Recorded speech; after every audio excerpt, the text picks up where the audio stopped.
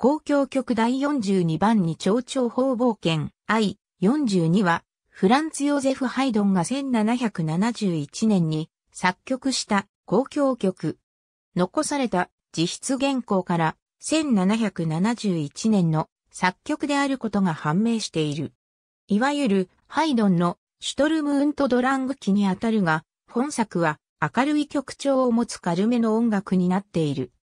ハイドンは難しくなりすぎないように気を使っていたらしく、第二楽章の自筆譜の中に、これは学者の耳用すぎたと記して書き直した箇所が存在する。